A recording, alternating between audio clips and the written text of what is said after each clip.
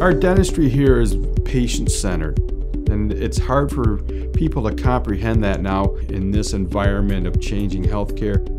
I learned long ago that if we spend time with the patient, if we educate the patient, if we get to know what their needs and concerns are, we're going to be able to take care of them in a better manner. I'm not hindered by finances of the patient, by my preconceived notions of what this patient should have gotten or, or should get because of their insurance coverage, if they have it. I need to know that when I get done with that patient, I can sleep at night and did the best that I can for them.